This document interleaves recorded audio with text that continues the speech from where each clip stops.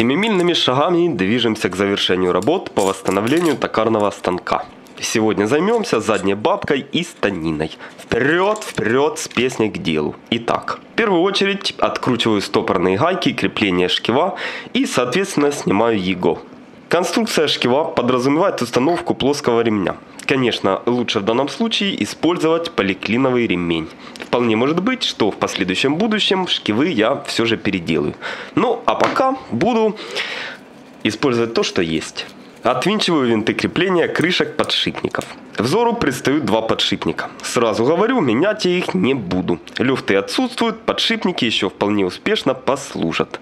Но оно и не удивительно. Во время покупки я специально рассматривал варианты, не требующие серьезных э, ремонтов и значительных капиталовложений.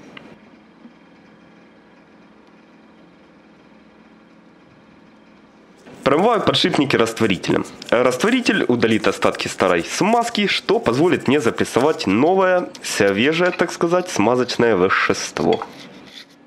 Немного скотча и грунтую поверхность, подлежащую окраске. Э, разумеется, после высыхания грунта произвожу саму окраску. Э, окраска, как вы помните, в синий цвет.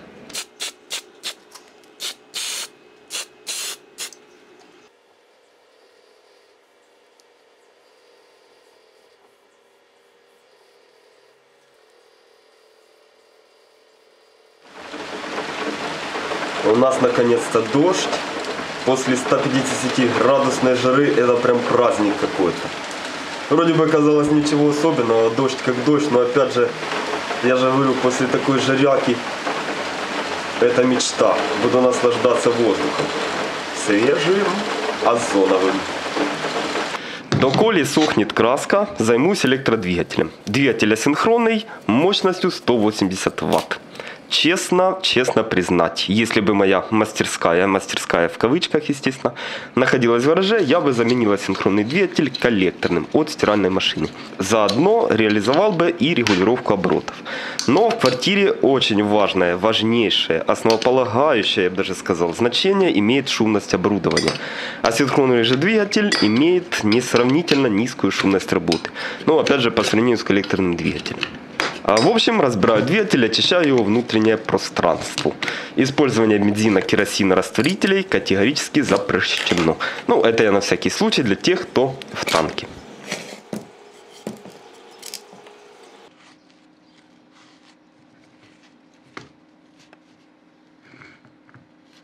Собираю всю конструкцию в порядке, обратном порядку разборки.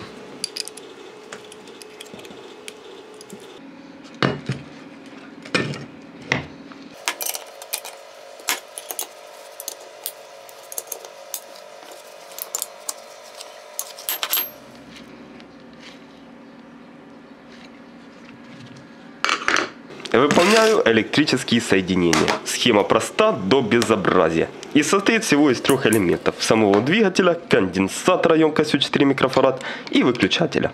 Монтажные работы произвожу с помощью советского паяльника. Одолженного мной у одного моего друга.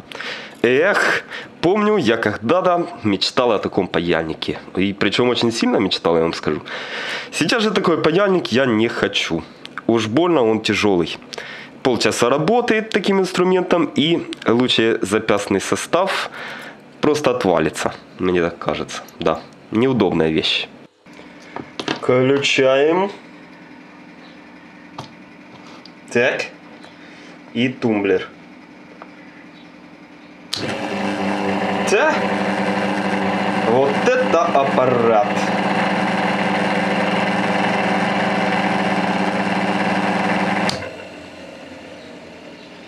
Есть.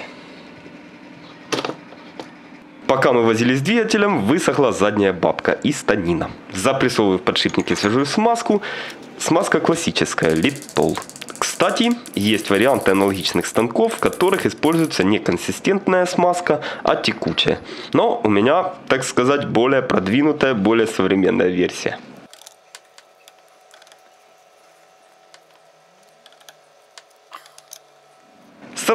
Поставлю патрон. Ну, чего тянуть-то, чего? Зачем? Вот так вот.